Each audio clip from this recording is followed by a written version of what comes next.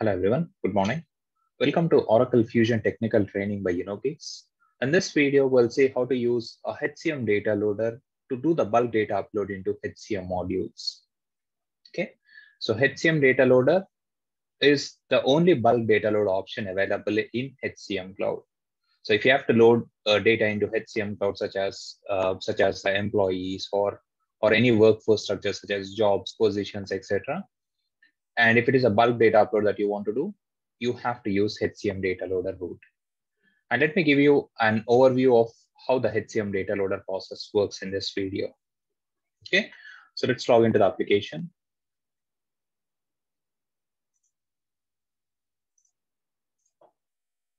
Let me go to the home page.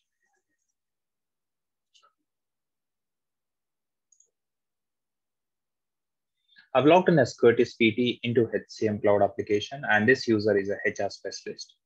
For HCM data loader, navigation is to go into my client groups, scroll down, and you see an option called data exchange. Click on it. And in the data exchange, you see a couple of options, couple of loader options available that you can use to load data into HCM Cloud application. You can use HCM data loader to do the bulk data upload into HCM Cloud and if it's a small data set upload, say, say for example, you want to load 100 jobs or, or say 1,000 positions, if it's a small data set, you could use HCM spreadsheet data loader for that. So we'll uh, cover HCM data loader first, and then we will move on to HCM spreadsheet data loader and uh, in a future video. Okay.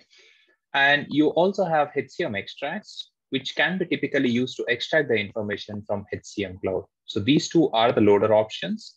And this HCM extract is to extract the information from HCM cloud and to pass it on and pass it on to uh, other third-party applications or the downstream systems. So in one of the future, uh, one of the video, I, I, will explain HCM extracts as well.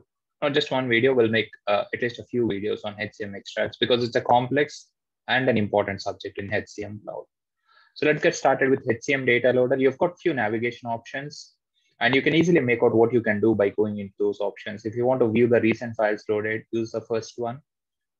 If you want to see what business objects into which you can load the data, uh, you, you can get into this navigation option. And this is what you should do first to see if the business object that you want to load data into is supported by HCM data loader or not. Say, for example, you want to load employees or you want to load jobs. You have to first get into this to see if the business object is supported. And if it is supported, you can download the template file from within the navigation option itself. And uh, yes, you download the template from here, and then you prepare a data file as per the template specification. And once the data file is ready, you can import and load the data, load the data file. Okay, and you can, if the data gets stuck in the stage table, and if you want to flush it for whatever reason, you can use this option. First, let's go to view business objects navigation option. You should see a whole bunch of uh, HCM business objects. In fact, you will find 99% of the business objects available in HCM here. They are supported by HCM data loader. And you can say, for example, you can load a workers. You can load, yeah, you can also load a workforce structure such as a job, grade, and you can load, you can load pretty much a data. You, you can load data into pretty much all the HCM business objects using HCM data loader. So we'll pick up a job as an example. Okay, and let's try to understand how HCM data loader process works. So uh, let's say you want to load in jobs into HCM cloud. You select the job. You could see that yes, job is supported by HCM data loader. You see a template file, download that. And copy the file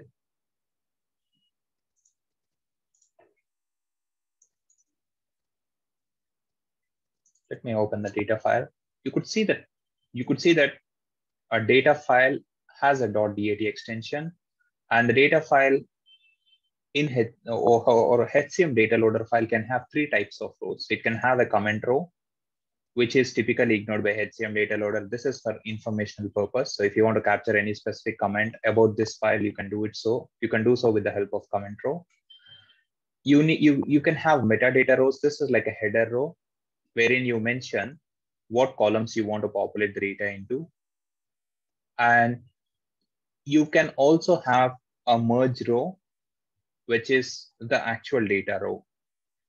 Okay, so you can have three types of rows, comment row, which is basically a comment, uh, comment row, which will be ignored by HCM data loader. You can have a header row called metadata row, which will contain the details, uh, which will contain the sequence of columns into which you want to populate the data. And you will have a merge row, and this is a, typically a data row. So first you will download a template which looks like this, and then you come up with a data file. Uh, let me show you a sample data file that I've already prepared.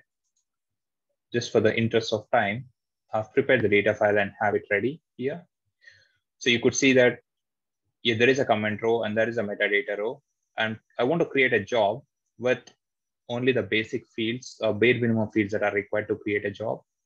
So to create a job, you notice that there are a few mandatory fields, right? So the job name is mandatory, code is mandatory, effective start date, and the job set. So I have identified such mandatory columns and I have included those columns in the header row. So this is like a metadata row or a header row. And if you look at this, you have a job code, active status, effective start date, name, the and the set code. These five fields are mandatory fields to create a job. Without these fields, like even if you try to load in a job, it will let out saying that mandatory field is missing. And then I'm also trying to load a job with a family name. And I'm using a job family as a echo This is an optional attribute, but still I've included it.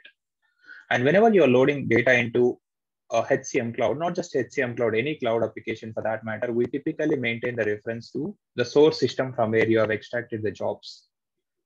Say, for example, if these jobs are extracted from the PeopleSoft system, you can mention the source system owner as PeopleSoft. And for these jobs in the source system, there would be a source system ID uh, associated with it, right?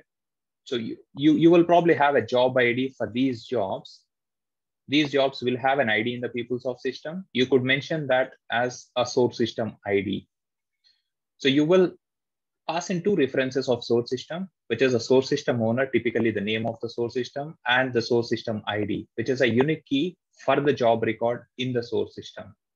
If you don't have one, you can easily make it up. You can you can use uh, probably the job code itself as a source system owner, so uh, as a source system ID. And I'm trying to load. So if you look at the file, there are three jobs that I'm trying to load, a HR analyst, HR manager, and HR specialist. And I'm, I'm trying to load them with a start date of 1951, Jan 1st, 1951, and I'm trying to create them as active jobs. I've just used UnoGeeks as a prefix so that it'll be easy for us to identify the jobs. And before I could load in this job, and you see that the job uses a tab delimiter, and the sequence of columns in the data in the data row. And how do you know that it's a data row? A merge keyword at the beginning indicates that it's a data row.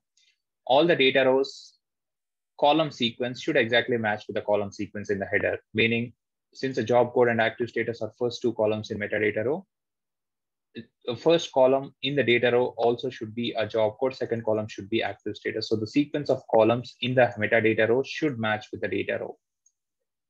Okay, and we're all set to load in this file. But before we do that, there is a seeded lookup given by Oracle called source system owner. And you have to make an entry of the source system owner that you're trying to use in the file. In that lookup, you have to add the source system owner in the, in the lookup. And only after that, you can process this file. Otherwise, HCM data loader will throw an error. So let's copy this source system owner. Let's go to the application, cancel this. And from the functional setup manager screen, let's go to manage common lookups.